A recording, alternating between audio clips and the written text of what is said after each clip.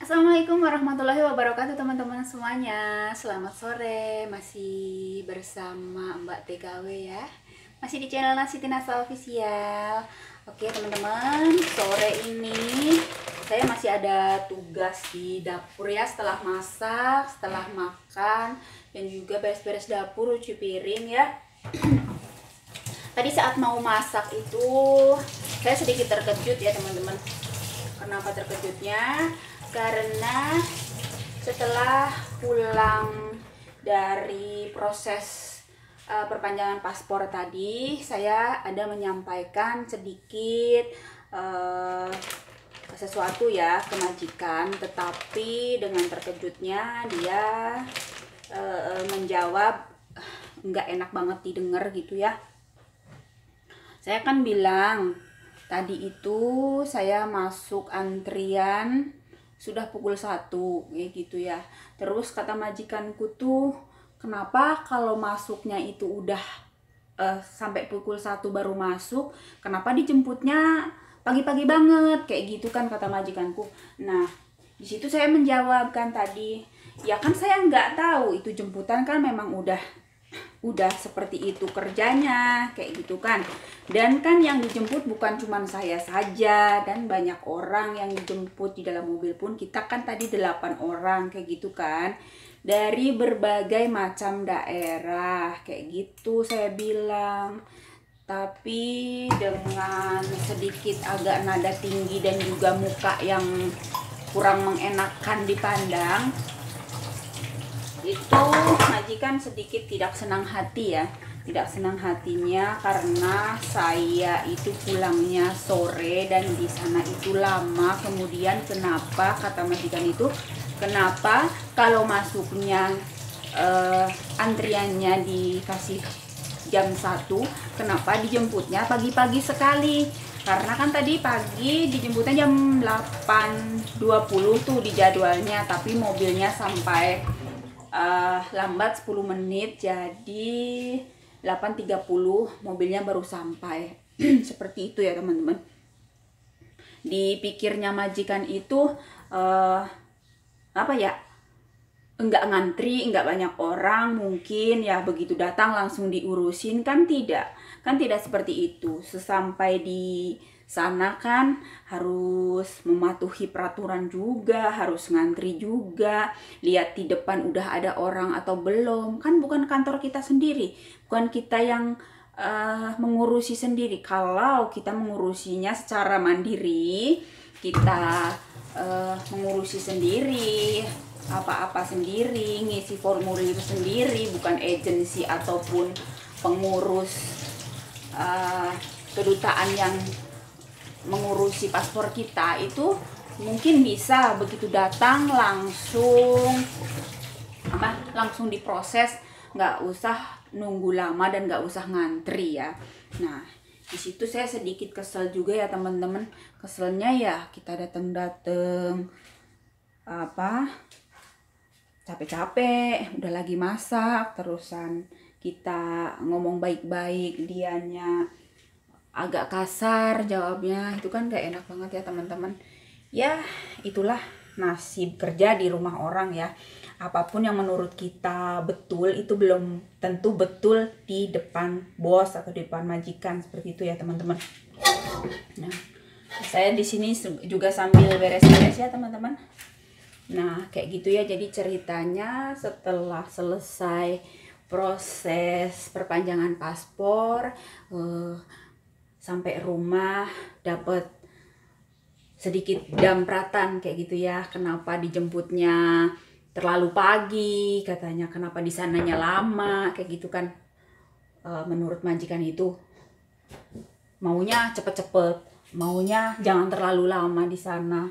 Ya kan kita harus ngantri. Kan banyak orang bukan kita sendirian yang proses paspor. Kan banyak orang kayak gitu kan ya. Ya di vlog saya kemarin juga yang sudah saya upload juga kan teman-teman tahu sendiri ya prosesnya seperti apa dan beberapa orang yang hadir di sana. Dari situ aja kan kita tahu kayak gitu.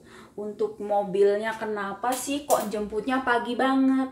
Nah di situ harusnya sebagai bos sebagai majikan juga kan paham ya kan bukan jemput saya seorang.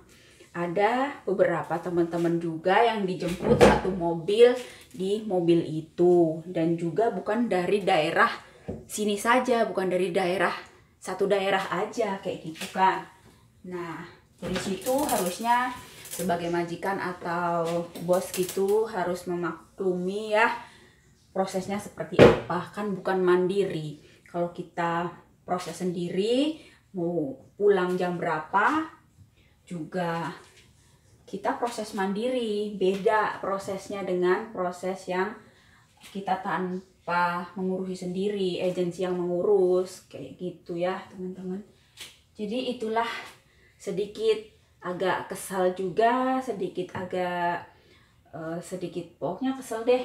Ya namanya orang kita nggak tahu apa-apa. Tahu-tahu kita tuh pergi aja kan dijemput dianterin ke sana diproses dan setelah itu pulang. Kita juga kan nggak ke mana-mana. Ya namanya juga pemikiran bos ya mungkin nggak mau kita main-main di luar kayak gitu. Mungkin pemikiran beda-beda lah kita kita dengan bos itu pemikirannya masing-masing orang itu berbeda ya.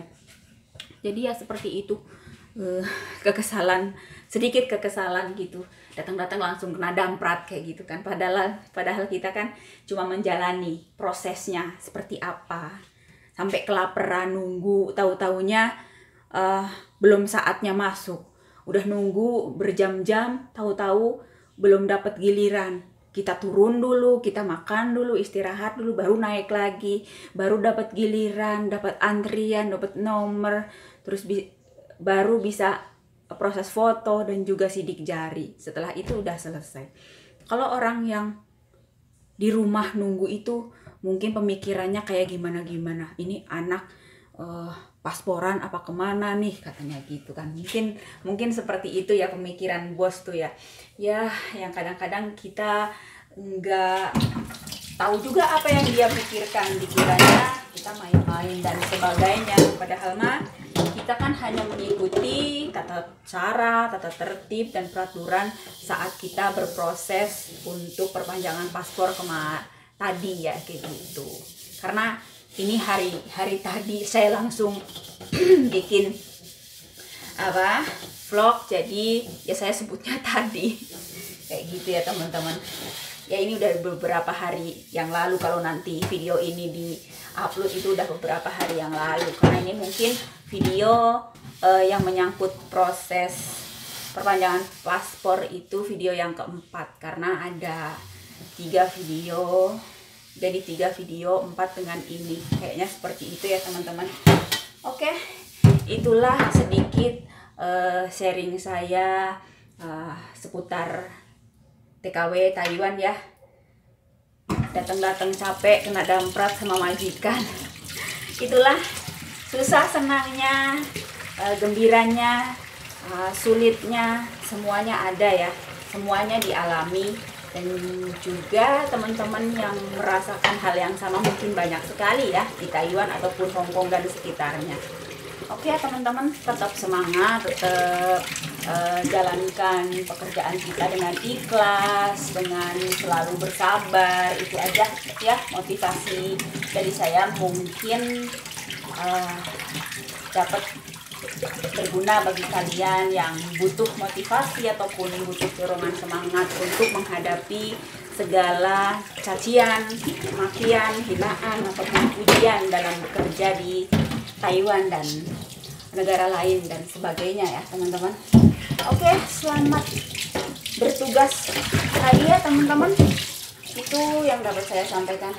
Semangat selalu dan saya masih ada kegiatan lainnya. Oke, terima kasih. Wassalamualaikum warahmatullahi wabarakatuh. Bye bye.